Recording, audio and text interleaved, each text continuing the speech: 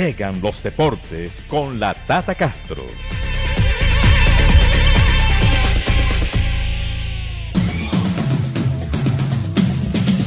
Los deportes, Tata. Hola, muy buenos días. Le tengo una excelente noticia. Daniel Galán acaba de ganar el primer set 6-4 a Lorenzo Sonego en su partido de segunda ronda, porque ya más temprano les contamos que Daniel ganó en primera ronda ayer al argentino y hoy está en su partido de segunda ronda con Lorenzo Sonego y ya ganó 6-4. Va perdiendo el segundo 2-0, se dejó quebrar el servicio. Pero bueno, ya ganamos el primer set y podemos tener a dos colombianos en tercera ronda del cuadro individual. Hace mucho no sucedía eso, doctor Londoño. Creo que es la primera vez. En tercera ronda. Tatica porque ya va perdiendo 2-0 el segundo set. Se quebró el servicio, se dejó. Bueno, ¿Sabe cuánto iba perdiendo María Camila ayer en el primer set? Cuando... Sí. 4-0.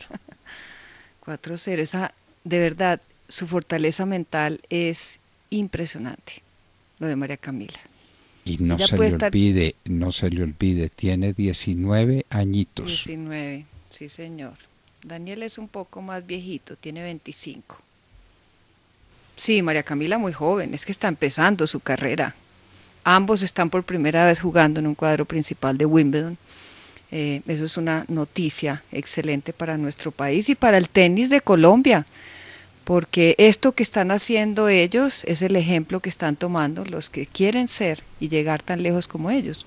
Entonces pienso que es una excelente noticia para comenzar nuestra sección deportiva. Más adelante hablaremos más de Wimbledon porque en este momento se está corriendo la sexta etapa del Tour de Francia, una etapa de 160.4 kilómetros con un solo premio de cuarta categoría que ya cruzaron.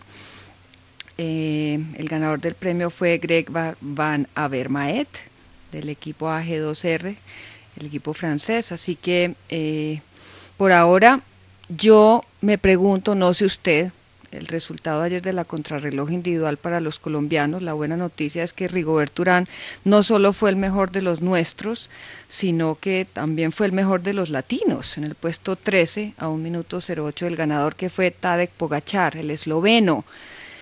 Es impresionante, ese joven de 22 años, doctor Londoño Pogachar, ese mismo hombre fue el que el año, bueno, ganó el Tour de Francia cuando en la contrarreloj individual del penúltimo día le quitó la camiseta de la clasificación general a Primo Roglic. Es el mejor en contrarreloj definitivamente. Ayer reventó. Estaba mirando yo que la media de velocidad de este Pogachar ayer fue de 51 kilómetros por hora. Impresionante, impresionante. Bueno, eh, el resto de colombianos, ¿cómo les fue ayer? Nairo Quintana, que estábamos muy pendientes del puesto 51 a 2.36 del ganador de la contrarreloj, Miguel Ángel López a 2.08, Sergio Henao a 2.05, Higuita, Sergio Higuita a 2.45 y Esteban Chávez fue el que peor le fue a 3.03 en el puesto 62. En la clasificación general, Nairo salió del top 10, ahora está de 18 a 2.45 y Rigo se metió de séptimo en la general a 1.29 del líder que continúa siendo Matthew Van Der Poel, eh, seguido por Pogachar, que con la ganada de la contrarreloj ayer se metió en el segundo lugar del general a 8 segundos, y el belga Boban Aert, que es uno de los escapados hoy, en la etapa de hoy, que faltan 34.5 kilómetros, él fue el que ganó el único premio de montaña de cuarta categoría que ya cruzaron. Así que los que saben de ciclismo entenderán. Usted me dice que le gustó el resultado de los colombianos, ¿cierto? Es que no, no somos especialistas. No se le olvide, Tata, pero no se le olvide lo que eran los contrarreloj para los colombianos mm. hace unos pocos años. Perdían por 4, por 5, por 6, por 7 minutos. Era un desastre, un desastre. Han mejorado muchísimo, no le quepa duda sí ha mejorado bastante. Sobre todo Rigobert Urán, muy bien. Bueno, eh, como les decía, ya la, se está corriendo la sexta etapa. Eh, Cavendish eh, sigue, salió como líder de la clasificación por puntos. Van der Poel, cuarto día vestido de amarillo en la clasificación general. El neerlandés Schelling, quinto día vestido con la camiseta de puntos rojos como líder de la montaña. Pogachar, que fue el que ganó la contrarreloj, lleva la camiseta blanca como el mejor de los jóvenes desde el inicio del tour. Y el equipo Jumbo Visma tomó el liderato por equipos tras la contrarreloj de ayer. Más adelante les contamos eh, qué está sucediendo porque ya faltan 33.4 kilómetros para llegar a la meta. Ahora sí hablemos de tenis. Esta mañana hablamos de María Camila Osorio, el triunfo histórico sobre la número 36 del mundo cuando empezó perdiendo 4-0 el primer set y logró ganar 7-5 y luego ganó muy fácil el segundo 6-2. Le espera una muy dura rival. En la cabeza de serie número 2 del torneo, la bielorrusa Arina Zabalenka, que además es la 4 del mundo. Bueno, como usted dice, en deporte cualquier cosa puede suceder. Y si no gana, por lo menos la experiencia adquirida por primera vez en Wimbledon será grande. ¿Esta rusa qué edad tiene? Para que tengamos un punto de referencia en ese en esa materia. Arina Zabalenka. Sí, sí, Ahorita se lo doy. Bueno, eh, miremos Daniel Galán, que está pasando 3-1 en el segundo set, arriba el italiano, y les recuerdo, Daniel, el colombiano, ganó el primer set 6-4. De ganar Galán, se enfrentará en tercera ronda al australiano James Duckworth, 91 del mundo, quien eliminó al estadounidense Sam Carey. Cavalli y Farah en dobles debutan mañana. Para los argentinos, el día de ayer sí fue un terrible día, un día gris para los tenistas de ese país. El único que queda en competencia es Diego Batsman, eliminado Pela, Trungeliti, Federico Coria, Juan Ignacio Londero y, la, y en femenino Nadia Podoroska, así que solo queda Diego Batsman. Venus Williams también fue eliminada ya en segunda ronda, logró llegar muy lejos doctor Londoño, mm. doña Venus. 7-5-6-0 perdió frente a la cabeza de serie número 21-11. Y Serena también, pero ¿por qué no se pues, convencen de que hay que hay, hay que entender que los años no vienen solos? ¿Qué se hace? Sí, hay que entenderlo, es verdad. Pero bueno, como usted dice, eso es una cosa comercial, ¿no? Sí, sí, sí, sí, sí, sí. Eso es una cuestión de plática. Y entonces van y hacen el escándalo y salen y, y se ganan unos dólares. Hombre, pero, pero yo creo que uno tiene que respetar su pasado y no retirarse en esas condiciones tan, tan lamentables. Sí, señor. viene, perdiendo en primera ronda hace cuánto tiempo. Mm. Y, Serena ya no, ya no puede, ya no puede. Claro, claro. Bueno, le tengo el dato de la rival de María Camila Osorio mañana, la número 4 del mundo, tiene 23 años, joven, muy joven. Muy jovencita también. Mm. Pero mire, sí, señor. dentro de cuatro años, ¿qué podrá hacer María Camila?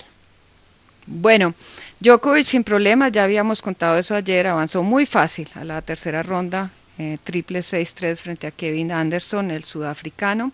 Ahora se enfrentará al estadounidense Denis Kudla. Hoy Alexander Zverev ya avanzó a tercera ronda, eliminó al estadounidense Tennis Sandgren en tres sets. Eh, más adelante, todavía no ha comenzado, viene su majestad Roger Federer frente a Richard Gasquet, el francés. La número uno del mundo ya avanzó a tercera ronda, eliminó a Ana Blinkova, la rusa, en dos sets. Y bueno, pendientes del colombiano. A ver, a ver, a ver, a ver, a ver, perdóneme, pero ahí me hizo usted un enredo monumental. A ver, cuente, cuente. Estaba hablando del tenis de hombres y de pronto salió con que eliminó a alguien a una rusa. Eh, la número uno del mundo, Ashley Barty, por eso la mencioné, porque es la uno.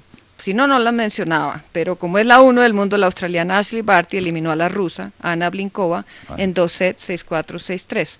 Era que estaba hablando de su majestad Roger Federer. su majestad no ha comenzado frente a Richard Gasquet. Sí, yo los mezclo ahí por importancia. Y usted sabe que para mí el más importante es su majestad, así tenga muchas seguidoras y muchas que se mueren por él. Como usted, por ejemplo. Pero no lo diga muy duro porque ahora me empiezan a escribir. Porque la oyen.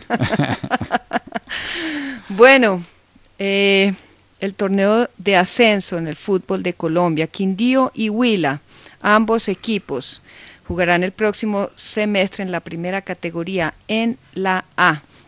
Quindío perdió ayer en su casa 2-0 frente al Atlético Huila. El Huila terminó con un 3-1 a favor en el marcador global, queda como el gran campeón y por eso asciende. Y el Quindío asciende por terminar de primero en la reclasificación. Descendió desde el año 2013 el equipo de Armenia y vuelve a la primera A, o sea, son siete años que se demoró en volver a la primera. Pues me da 8, ¿no? De 13 a 21. 8, me da sí. ocho, sí. Sí, ocho. Bueno, Usted tiene unas matemáticas diferentes. bueno, porque el próximo, ah, bueno, el próximo sí, próximo semestre es ahora, va a ser el 21, sí, 8. Bueno, eh, hay un- una noticia que todavía no es oficial, pero voy a dar el dato de dónde la saqué, porque yo me alegro bastante. La saqué de Blue Radio. Según Blue Radio, el árbitro español Jesús Gil Manzano será el encargado de dirigir el juego entre Colombia y Uruguay por los cuartos de final.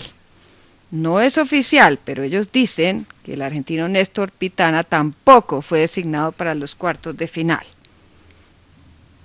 No, Todavía la Conmebol no se ha pronunciado.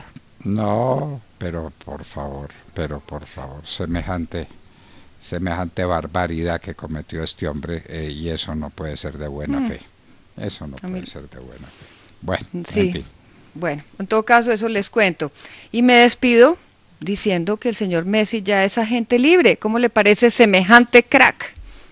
Y hoy ya es agente libre. Pero a mí no me vengan a decir que él se va a ir para otra parte. Él está esperando que el Barcelona le muestre el contrato que él quiere, ¿cierto? Para firmarlo.